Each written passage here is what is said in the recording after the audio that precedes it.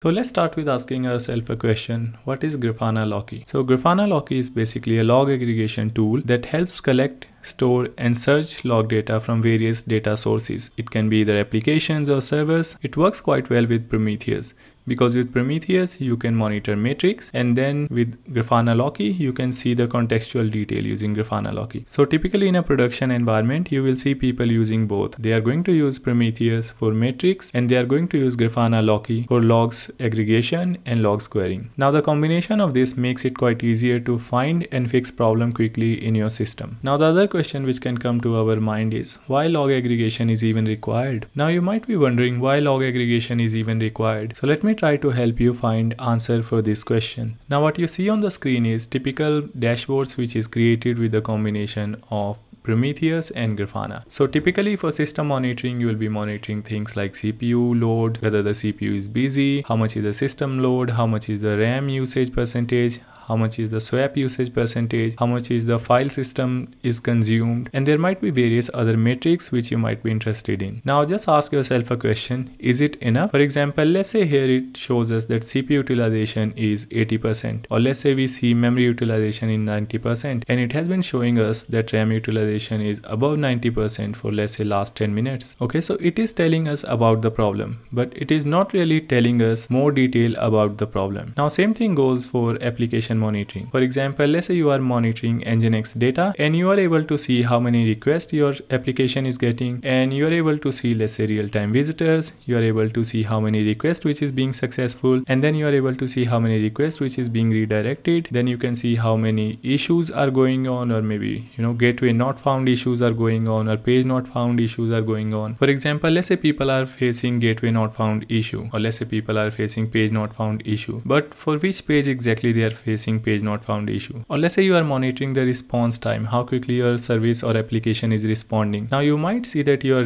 application is responding slowly, but you won't be able to know why your application is responding slowly. You know, if you don't really you have log aggregation. So that's the reason we need log aggregation tool. And a tool like Grafana Loki, which is really easy to implement, it offers quite a lot of benefits. So let's just quickly summarize few pointers about Grafana Loki. So now if you are looking for comprehensive monitoring, starting from the key matrix and then going down to the log level then of course you have to use then of course you have to use log aggregation tool. Now talking about contextual information of course as we discussed if you want to know the context of the issue or more information about reason behind any issue which is being shown here on the screen you will of course going to need some contextual information. And log aggregation tool is the one which is going to help us getting those contextual information. Now log aggregation is quite useful when you are troubleshooting and debugging. For example when you see cpu utilization is going high or maybe application is responding slowly, you quickly want to know what is the root cause behind it. And for that, you will have to have all the logs collected together,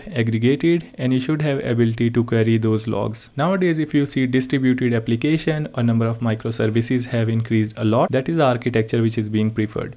So that makes it even more important for all the logs to be collected and correlated. So until these logs are not correlated, it's going to be quite hard to find out the issues across all the services. Now we might also want to keep logs for compliance and audit purposes and you might want to manage all the logs centrally at some place. That's the reason you might have to do some kind of log aggregation strategy. And one point which is not really mentioned here but which is key as well for example, nowadays all these logs are used for generative AI learning or generative AI strategies. So that makes it even more important for collecting all the logs and aggregating them and keeping it for longer period of time. So these are some of the reasons why we even need log aggregation system. So I hope you found the reason of using log aggregation system in your project. Now let's talk about some of the problems which are really addressed by Loki. So our first point is complexity of traditional log management. So traditionally the tools which were used were having a lot of challenges. For example, either they were quite difficult or quite complex to configure or either they required certain type of storage and they also required quite a lot of computing power to ingest the logs and query them. Now what Loki has done is Loki has simplified this process by providing lightweight components. So when we are talking about the architecture, I'm going to show you Loki is built of several components and all of those several components can be scaled independently. So now it's quite easy to install and manage, quite easy to configure and quite easy to start start ingesting data to Loki and it's even quite easier to start reading all the data from Loki. Now the other issue which we had was high storage cost. So if you are storing lots and lots of logs and you are indexing everything then the cost of storing the logs is going to increase. Now what Loki does is Loki doesn't really index everything. It doesn't really index all the logs line by line. So what it does is it indexes only metadata and then all of the remaining line of logs are just compressed and then kept in cheaper storage like S3 or you can use any other object storage as well. So that really brings down storage cost a lot. Now scalability issues get solved because we have various components which we can horizontally scale. So you can literally run Loki on 5 servers or 50 servers and you can grow as and when need arrives. So that's the benefit of horizontally scaling. Now typically in an open source world you will see people using Grafana and Prometheus a lot. Now there are quite a lot of log aggregation tool which has lack of integration with Prometheus. Now what Loki does is Loki follows the kind of same structure, follows the kind of same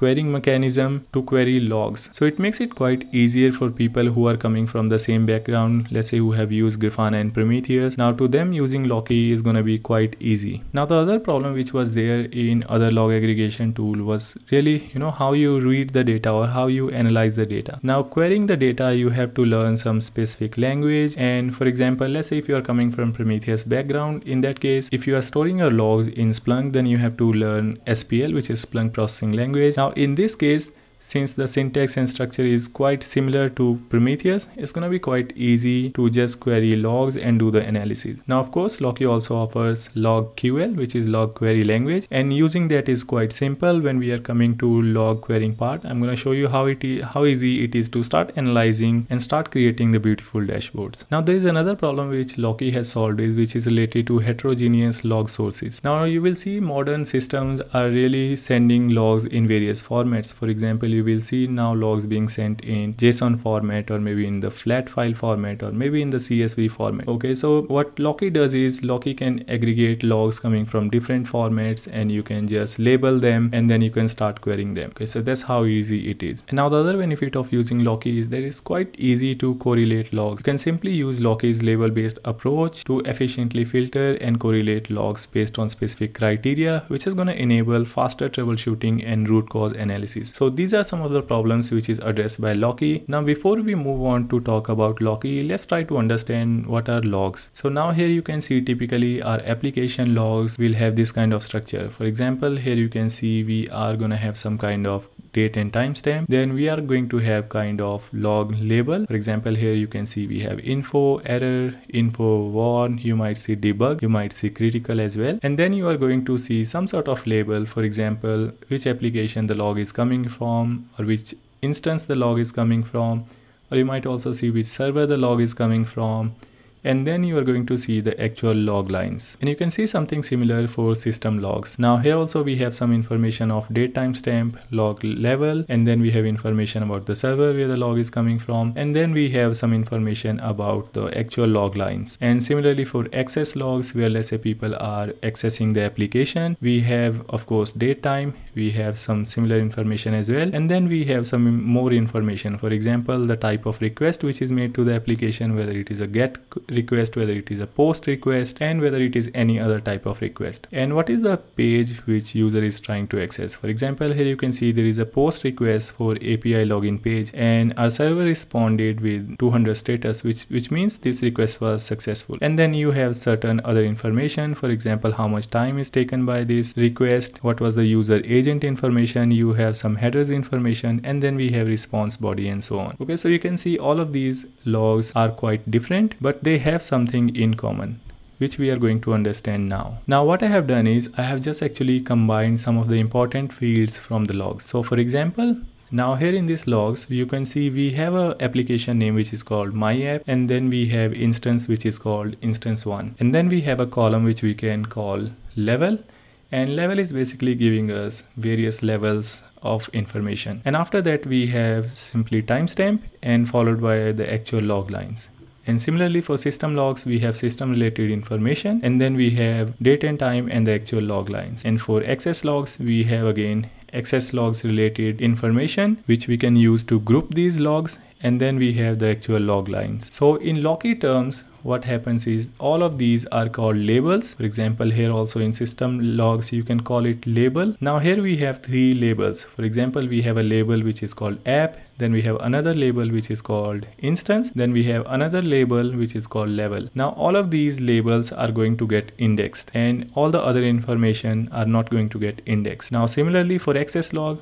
all the information which you see which is part of label are going to get indexed and then all the other information are not going to get indexed. Now the benefit of this is typically you are going to always query on labels for example, you are going to see how many, for example, when there are issues in application, you are going to typically start the query by giving the name of the application because, because from the matrix, you are already going to have name of the application, which is giving you the problem. Then you might also have instance information. For example, you might be knowing that the problem is coming when the request is being sent to instance one or instance two. And then you might already be knowing, you might also want to know the level. For example, you are going to be interested only in warning or error information logs. So in that case, you are going to query only on these information. Of course, we can go ahead and query on these information or these log lines as well. For example, other than specifying these label related filters or label related criteria, I may want to specify, give me all the log lines where the word contains is logged. And in that case, I'm going to get only this item. Now we are going to see this more when we are talking about querying logs, but I hope you you got a quite a fair bit of idea how Loki really stores logs. Now let's have a quick look of Loki architecture since you have now understood logs. Now there are quite a few things which we need to see here. For example, there is a separate write path which is used when we are writing logs to Loki and there is a separate read path which is used when we are querying Loki. Now when a component or an agent is sending logs to Loki, it is going to first connect to distributor which is then gonna send the request to ingester. Now you can have multiple distributor. For example, you can have two distributors which is going to receive all the request and then you can have, for example, let's say five ingester. So distributor is going to send the request to one of the available ingester to ingest the logs. And then when you are reading logs, again, all the request for reading the logs is going to come to query frontend and then from query frontend the request is going to go to querier and then querier is actually going to perform the query processing and going to give the result back to query frontend and then it's going to be shown in Grafana. Now there are few other services which we are going to see again later on. At this moment we don't really need to go in lot of detail. All you need to understand is that there are going to be separate write path and there is going to be separate read path and then all our logs are going to be stored in object storage and then all the logs have index and chunks. Now index is combination of labels as i shown you previously and then chunks are simply all the log lines. Now there is one important thing which you need to know at this point of time is that there is a component which is called index shipper which i have mentioned here in point number three and that index shipper is used for the purpose of sending the logs to object storage. And if you are on prior to 2.0 Loki version, in that case, Loki had different storage backends for indexes and chunks. But now there is only single storage backend which you can use for index and chunks. For example, for example, in this case, we can just go ahead and use AWS S3 for storing index and chunks. And Grafana Loki is gonna go and manage everything internally. We don't really need to be aware of how the logs are being indexed and stored. So at this point of time, that's all we need to know in order to start working on Loki. So that's all all I had for this lesson and I'm gonna see you again in the next lesson.